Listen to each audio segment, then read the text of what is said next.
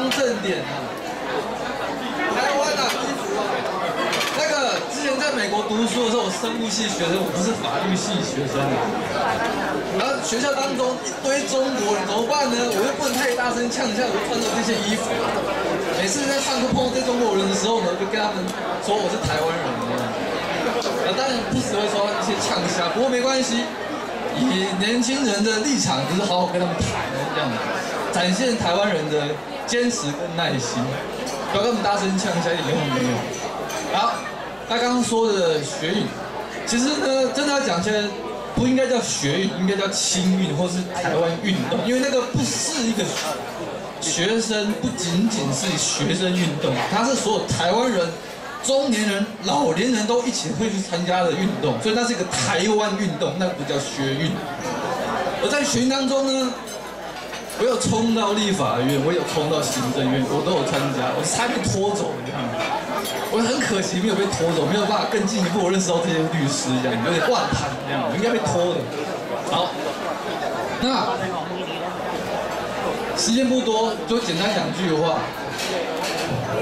台湾人不可以放弃。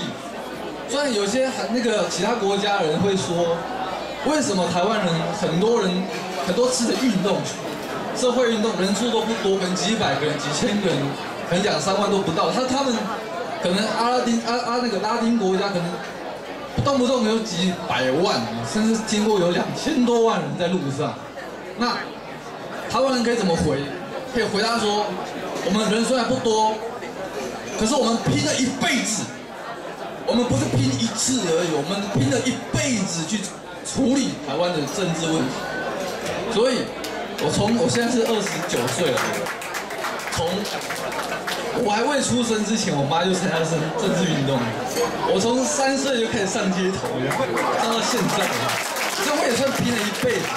所以也请大家，各位台湾乡亲，请有力的，你们年轻有下一代的。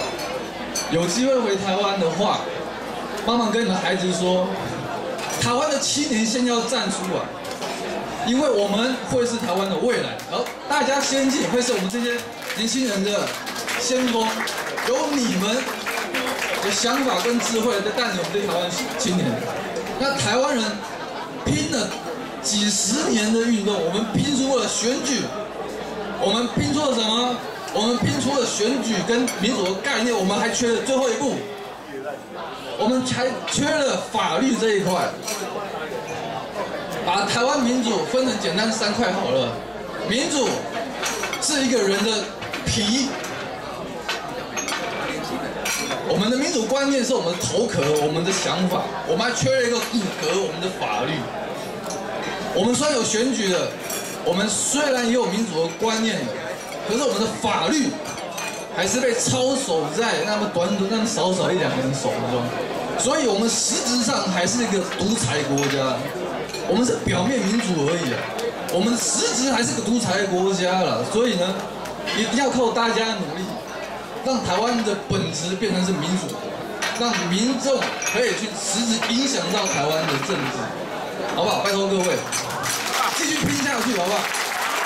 不只是这么两年、三年、四年，请让你们小孩都继续给他拼二三十年，给他拼到死，这样好不好？好啊，感谢大家。